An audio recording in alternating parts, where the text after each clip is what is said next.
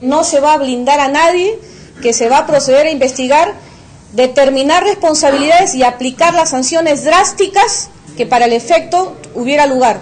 La ministra de la Mujer, Ana Jara, fue tajante y respaldó la denuncia interpuesta por Corina Escobedo, quien aseguró que un adolescente de 16 años fue violado en el Centro de Asistencia Residencial San Francisco de Asís en San Miguel hace ocho meses. Ella lo internó ahí. Ella no tiene un vínculo de sangre con el menor, pero tiene mucha preocupación. Es una vecina de la zona que es quien se percató de los maltratos que venía sufriendo este niño al quedar al desamparo de sus padres. Al no poder encargarse de él, Escobedo sintió que lo dejaba en un lugar mejor, pero la realidad fue otra. Yo venía el viernes y lo encontré mal, delgado, y ahí me dijo que lo golpeaban constantemente y que había sido violado también en varias oportunidades.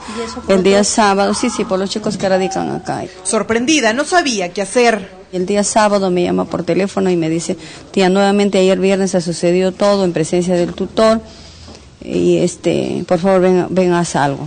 Ante el pedido desgarrador del menor, presentó la denuncia ante la 14 Fiscalía de Familia. Al mismo tiempo, un representante del centro se comunicó con ella. Recibió una llamada telefónica haciendo ver que el niño se ha intentado escaparse, estaba en el torreón de agua, intervino la policía, se lo han llevado a otro centro. El joven fue transferido al centro San Miguel Arcángel. Y ahí tendrá, como desde ahora lo sabe la señora Corina, la atención inmediata por parte del Ministerio de la Mujer y Poblaciones Vulnerables, la ayuda psicológica y de asistencia social no solo a favor del adolescente, sino también del entorno familiar. Jara aseguró que ya se abrió una investigación administrativa. Ese tutor no va a permanecer en este centro asistencial hasta que se diluciden las responsabilidades y, se apliquen las sanciones. No puede permanecer acá. La directora del hogar, Cecilia Adriansen, también ha sido suspendida. El menor ha pasado por el médico legista. Escobedo lamentó haberlo visto con moretones en todo el cuerpo. Según su manifestación, entre seis y siete personas abusaron de él.